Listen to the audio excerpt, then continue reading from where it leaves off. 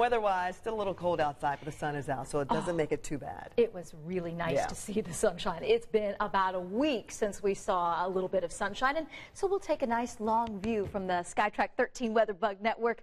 Uh, some brighter skies over Wolcott, and it's going to be a fantastic sunset. It's underway in Carmel and Bloomfield. We have a few clouds, but also somewhat brighter in Noblesville, so enjoy.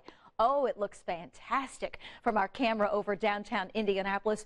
41 degrees in the capital city right now. We have an east wind at 10 miles per hour. Dew point temperatures will be something for us to watch overnight and especially first thing tomorrow morning as the rain begins to arrive.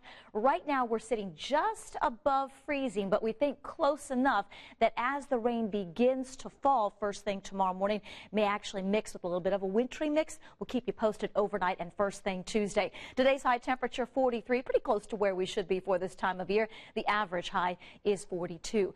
Some sun, some clouds, 30s and 40s on the map right now, including 39 in Kokomo, Logansport 36, Rensselaer 34, Greencastle sitting at 37 along with Richmond and 41 in Columbus. It was nice to see the breaks in the cloud deck late this afternoon and early this evening, but it won't last long. The clouds will quickly fill back in.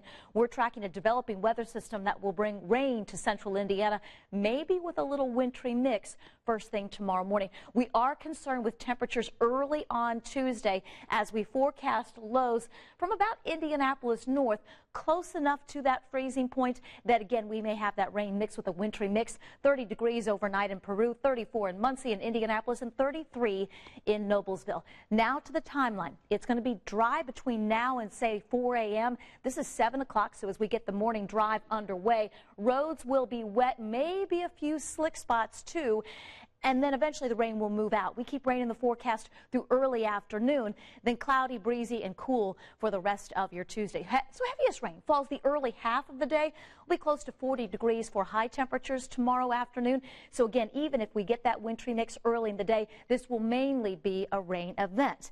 However, things begin to change as we look ahead. Big view on Future Track 13. Late Wednesday into early Thursday shows at least the chance for a little bit of snow, and then colder air will start to arrive Thursday and Friday, and we will be in and out of snow showers, lows in the teens and highs in the 20s. Very active weather pattern the next seven days. Mainly a rain event and near 40 tomorrow afternoon.